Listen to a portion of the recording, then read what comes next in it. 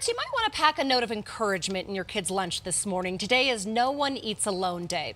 It's a day to encourage kids to make friends at lunch and offer to eat lunch with someone sitting alone.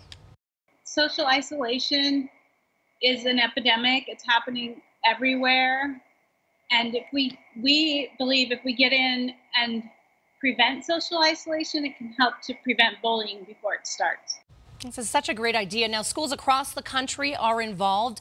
In Colorado, 19 schools have signed up, including schools in Aurora, Broomfield, Denver, and Highlands Ranch, just to name a few. That's a great idea. Yeah.